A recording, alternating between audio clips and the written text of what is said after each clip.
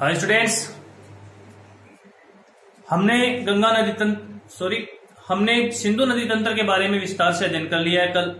आज हम गंगा नदी और ब्रह्मपुत्र नदी का विस्तार से अध्ययन करेंगे। सबसे पहले हम बात कर लेते हैं ब्रह्मपुत्र नदी तंत्र की बात। क्योंकि ये छोटा सा चैप्टर है, इसके बाद में एक बड़ा चैप्टर गंगा नदी तंत्र, इसी चैप्टर में रखना चाहूँगा। ब्रह्मपुत्र नदी मानसरोवर झील, तिब्बत में।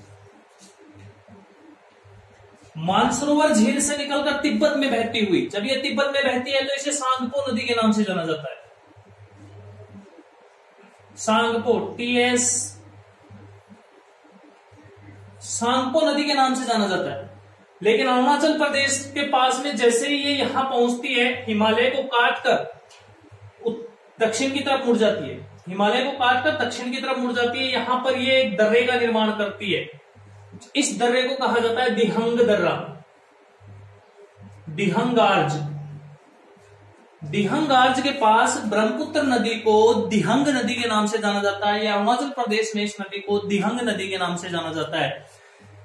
अरुणाचल प्रदेश की दो नदियाँ इस नदी में मिलती हैं। एक ये और एक ये। ऊपर वाली जो नदी है वो है दिबांग नदी। और नीचे वाली है लोहित।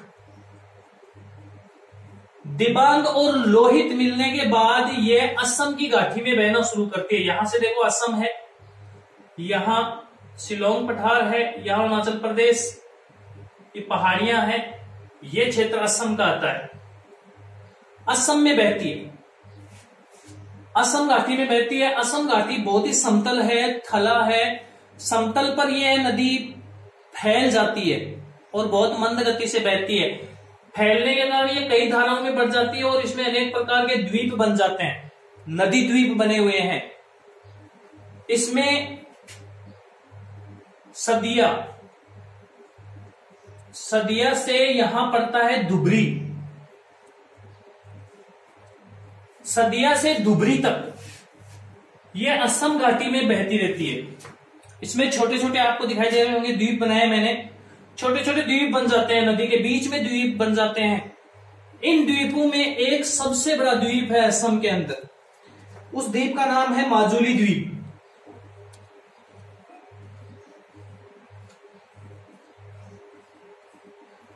माजुली द्वीप। प्यारे विद्यार्थियों, ये माजुली द्वीप विश्व का सबसे बड़ा नदी द्वीप है। मैं द्वीप नहीं कह रहा हूँ, नदी द्वीप कह रहा हूँ। विश्व का सबसे बड़ा नदी द्वीप है। असम सरकार ने इस माजुली द्वीप को माजुली जिला, नदी द्वीप जिला घोषित किया है। इस, यह द्वीप आखिर नदी से बना है, इसलिए ये बहुत उपजाऊ है। यहाँ पर धान की खेती की जाती है। धान की खेती की जाती है यहाँ पर। और धान की खेती में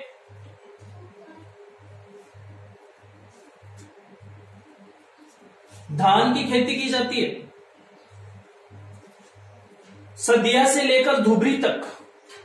यह अनेक द्वीपों का निर्माण करती है। ये छोटे छोटे द्वीप इस नदी के बीच में बने हुए हैं। इसमें भूटान से एक सहायक नदी आकर गिरती है, जिसका नाम है मानस। मानस नदी। और एक नदी आती है सिक्किम में। सिक्किम में यहाँ पर एक ग्लेशियर है। सिक्किम में यहाँ पर एक ग्लेशियर है, जिस ग्लेशियर का नाम है चेमू। चेमू ग्लेशियर से। एक नदी निकलती है, जिसका नाम है तिस्ता नदी। ये नदी है तिस्ता। तिस्ता नदी भी जाकर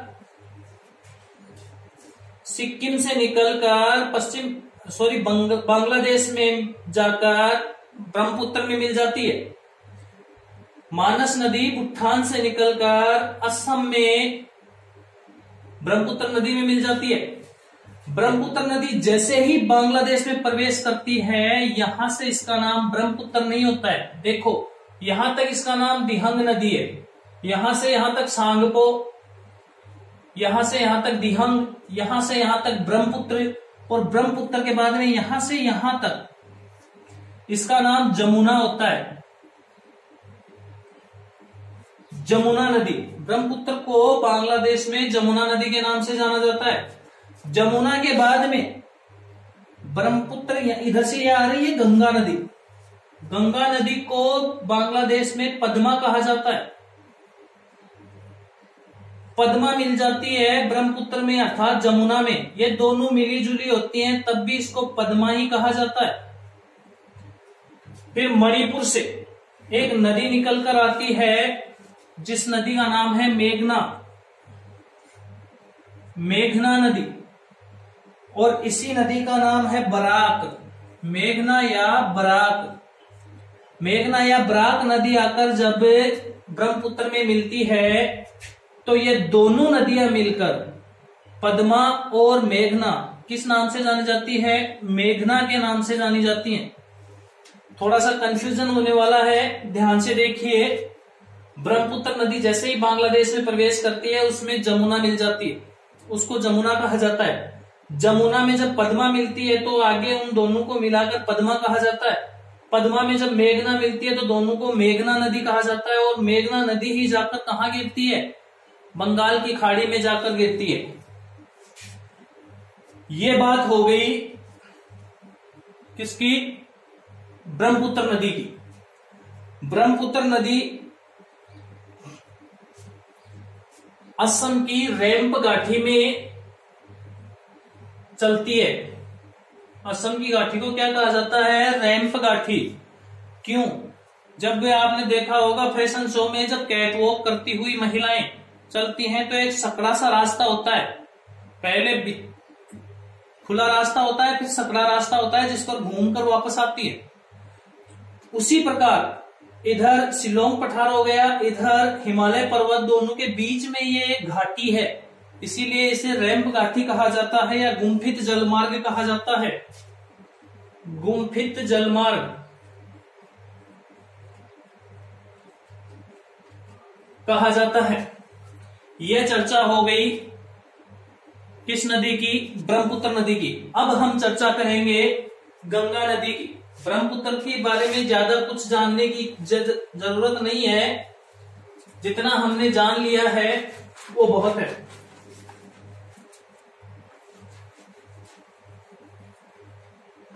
बस इतना ध्यान रखिए, ब्रह्मपुत्र नदी को अलग अलग नामों से जाना जाता है। तिब्बत में सांगपो नदी कहा जाता है। अरुणाचल प्रदेश में दिहांग, असम में ब्रह्मपुत्र और बांग्लादेश में पद्मा के नाम से जानी जाती है। अब बात करते हैं गंगा की।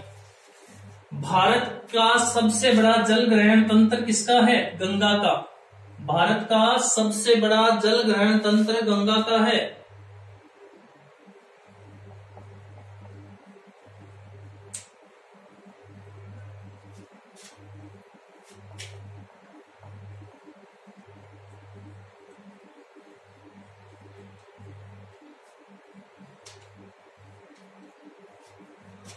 केवल नदी जाती है, उसी को जल ग्रहण नहीं कहा जाता है। जितनी नदियाँ आकर इसमें सहायक नदियाँ मिलती हैं, उसको भी इस जल ग्रहण की श्रेणी में रखा जाता है। तो भारत का सबसे बड़ा जल ग्रहण तंत्र कौन सा है? गंगा नदी तंत्र है। गंगा नदी पाँच राज्यों में से होकर निकलती है। यहाँ देखिए उत्तराखंड। उत्तराखंड के बाद में जाती है यूपी। यूपी से पहुँचती है बिहार। बिहार से पहुँचती है झारखंड। झारखंड में भी थोड़ी सी प्रवेश करती है ये नदी। झारखंड के बाद में ये निकलकर पहुँच जाती है पश्चिम बंगाल। झारखंड के बाद में पश्चिम बंगाल और पश्चिम बंगाल के बाद में बांग्लादेश में प्रवेश करती है और किससे मिलती है? जमुना से मिलती है। जमुना किस नदी का नाम है? ब्रह्मपुत्र नदी का नाम है। यह नदी सर्वाधिक किस राज्य में है, बढ़ती है? यूपी में। गंगा नदी सर्वाधिक लंबाई कहाँ पर है? यूपी में है। और सबसे कम तो आप समझ गए होंगे, झारखंड में। सबसे कम कहाँ है? झारखंड में। सबसे अधिक कहाँ है? यूपी में। अब बात करते हैं गंगा नदी के उद्गम की। गंगा नदी कहाँ से शुरू होती है और किस प्रकार आगे बढ़कर गंगा के नाम से जानी जाती है? यहाँ गौर कीजिए। ये का ये चित्र मैं यहाँ बना रहा हूँ।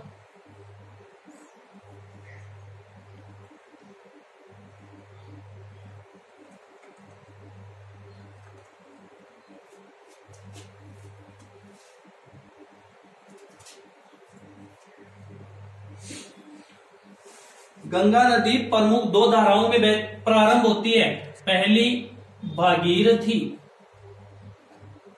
इधर जो धारा आपको दिखाई दे रही है, इसे भागीरथी कहते हैं। इधर वाली धारा को अलकनंदा कहते हैं। अलकनंदा और भागीरथी के रूप में यह बहती है। अलकनंदा भी दो धाराओं में बनकर मिलकर बनती है। इधर है धोली गंगा। और इधर है विष्णु गंगा। धोली गंगा और विष्णु गंगा मिलकर अलकनंदा का निर्माण करती हैं। अलकनंदा में जब भागीरथी आकर मिलती है, यहाँ देव प्रयाग में। देव प्रयाग में जब भागीरथी अलकनंदा में मिलती है तो दोनों के संयुक्त रूप को गंगा नदी कहा जाता है। धोली नदी और विष्णु नदी जहाँ मिलती हैं, उस क्षेत्र को विष्णु प्रयाग के नाम से जाना जाता है। विष्णु प्रयाग में धोली नदी और विष्णु नदी। अब भागीरथी कहाँ से निकलती है? भागीरथी निकलती है उत्तराखंड के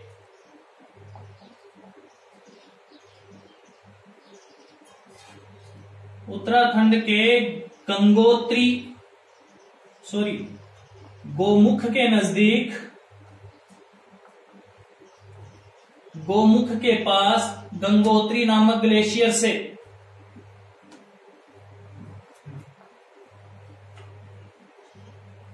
गंगोत्री नामक ग्लेशियर से निकलती है और देवप्रयाग में जाकर अलकनंदा में मिल जाती है सम्मिलित रूप से गंगा कहलाती है। और ये दोनों नदियाँ सत्तोपथ से निकलती हैं, सत्तोपथ नामक ग्लेशियर से। सत्तोपथ ग्लेशियर से निकलकर दो धाराओं में निकलती है, धोली गंगा और विष्णु गंगा, और विष्णु प्रयाग में जाकर मिलती है, और विष्णु प्रयाग में इसे किस नाम से जाना जाता है? अलकनंदा के नाम से जाना जाता है। यहाँ पर इसमें एक नदी आकर मिलती है। इस नदी का नाम है पिंडार नदी। पिंडार नदी कहाँ मिलती है? पिंडार नदी मिलती है कर्ण प्रयाग में। यहाँ पर जो स्थान है, उसका नाम है कर्ण प्रयाग इसके बाद में इसमें एक नदी और आकर मिलती है, मंदाकिनी। मंदाकिनी नदी। ये मिलती है रुद्रप्रयाग में।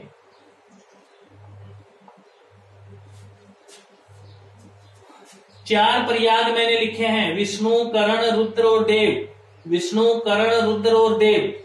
विष्णु प्रयाग में धोली और विष्णु गंगा मिलती है, पिंडार नदी आकर मिलती है, करण प्रयाग में, मंदाकिनी आकर मिलती है, रुद्र प्रयाग में और भागीरथी आकर मिलती है, देव प्रयाग में। यहाँ से इसे गंगा के नाम से जाना जाता है।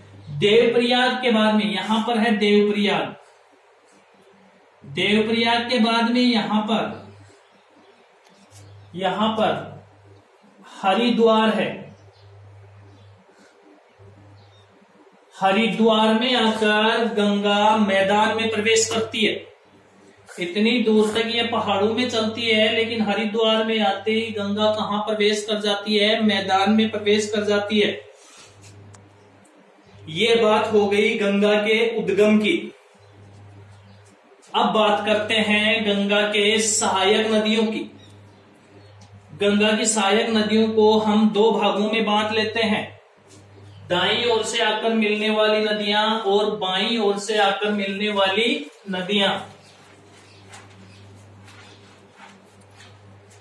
जो भी बोलता हूँ, लिख रहा हूँ, उसे लिखने का प्रयास करें।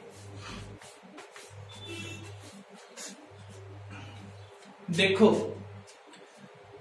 ये नदियाँ हैं, अब नदी चल रही है ऐसे इधर से आने वाली बाई ओर से और इधर से आने वाली दाहिने ओर से। इसलिए गंगा नदी की सहायक नदियों को हम दो भागों में बांट लेते हैं, दाहिनी ओर से और बाई ओर से। बाई ओर से कुछ नदियाँ आकर गंगा में मिलती हैं। इसमें सबसे पहली है रामगंगा इसके बाद में है गोमती। इसके बाद में है गागरा। रामगंगा, गोमती, घाघरा। एक नदी मैंने बनाई नहीं है। एक नदी और है। गंडक। ये नदी है गंडक। गंडक के बाद में आगे यह नदी कोसी नदी। कोसी के बाद में महानंदा। महानंदा।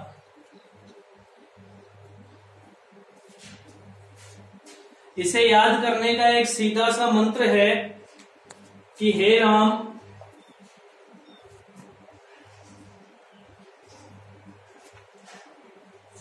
गोमती का घाघरा गंडक खोस कर भाग गया।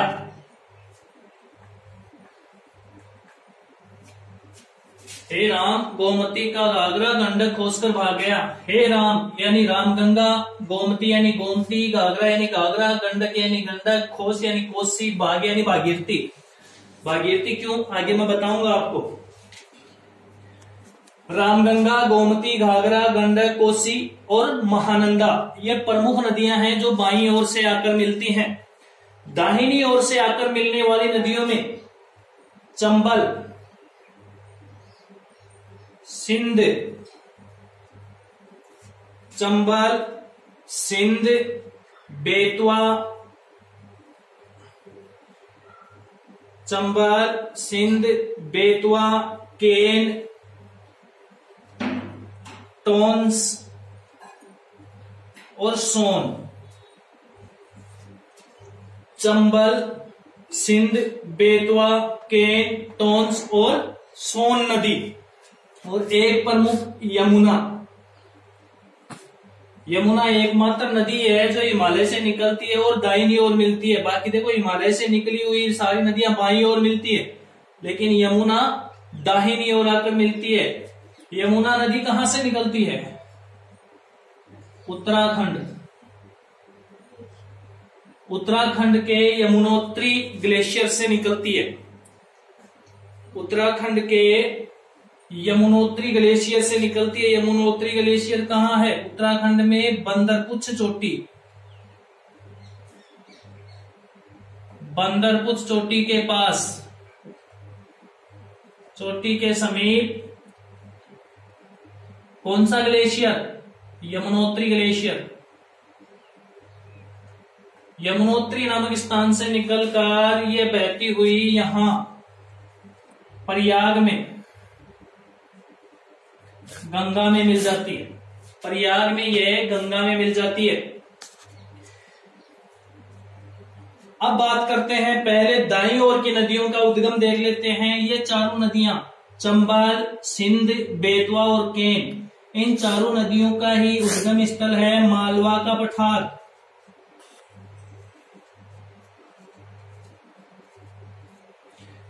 मालवा का पठार वैसे तो सभी नदियाँ प्रायद्वीपीय भारत से बहती है, नीचे वाली आपने पढ़ा होगा प्रायद्वीपीय भारत मैंने पढ़ाया था। यह नदी मैकाल पर्वत की अमरकंटक चोटी से निकलती है। सोन नदी मैकाल पर्वत की अमरकंटक चोटी से निकलती है। टोन्स और सोन दोनों की दोनों नदियाँ सीधे गंगा में अपना जल गिराती हैं। सोन नदी पटना के पास अपना जल गिराती है। पटना के समीप अपना जल गिराती है। लेकिन ये चारों नदियाँ पहले यमुना में मिलती है और यमुना जाकर गंगा में मिलती है। दिखाई दे रहा है आप लोगों को बाकायदा। इसके अलावा अब रामगंगा। दाई ओर से आने वाली नदियाँ। रामगंगा उत्तराखंड से निकलती है और सीधे जाकर गंगा में अपना जल गिराती है। गोमती नदी देखो। हिमालय पर्वत से नहीं निकलती है। गोमती नदी का उद्गम हिमालय पर्वत न होकर मैदानी या तराई क्षेत्र है। उत्तर प्रदेश में तराई क्षेत्र में से यह नदी निकलती है। गोमती नदी उत्तर प्रदेश के तराई क्षेत्र से निकलती है। फुलहर झील है पीलीभीत ज़िले में। फुलहर झील किस ज़िले में है? पीलीभीत ज़िले में। फुलहर झील में से निकलकर गंगा में मिलती है। कौन सी नदी? गोमती नदी। और गोमती नदी के किनारे ही प्रमुख नगर बसे हुए हैं, एक तो लखनऊ और एक जौनपुर। लखनऊ और जौनपुर। गागरा गंडक और कोसी तीनों नदियाँ नेपाल से निकलकर आती हैं। गंडक नदी को सालिग्राम व नारायणी नदी भी कहा जाता है। कहाँ पर? नेपाल में। नेपाल में गंडक नदी को शालिग्राम व नारायणी नदी कहा जाता है। कोसी नदी। कोसी को बिहार का शोक कहा जाता है। क्यों? क्योंकि कोसी अपना रास्ता बदलने के लिए कुख्यात है। कोसी नदी जब नेपाल से निकलती है तो अपने साथ बहुत सारा अवसाद पहाड़ों को काट कर ले आती है और अपने रास्ते में ही बिछा देती है। जब कभी वो रास्ता अवरुद्ध हो जाता है तो ये नदी अपना दूसरा ही रास्ता बदल कर चलती है। जिसके कारण बिहार में जब चाहे बाढ़ आ जाती है, इसीलिए कोसी नदी को बिहार का शोक कहा जाता है। कोसी नदी के बाद में गंगा नदी दो वित्रिकाओं में परिवर्तित हो जाती है। एक वित्रिका पश्चिम बंगाल होते हुए चली जाती है, बांग्लादेश में एक वित्रिका अलग होकर सीधे ही अपना जल बंगाल की खाड़ी में गिराती है। राम सागर द्वीप के पास में अपना जल बंगाल की खाड़ी में गिराती है। वित्रिका क्यों कहा जाता है? क्योंकि नदी जब दो धाराओं में परिवर्तित हो जाती है तो वित्रिका के नाम से जानी जाती है। यहाँ से इसे गंगा नहीं कहा जाता, पश्चिम बंगाल में इसको भागीरथी कहा जाता है।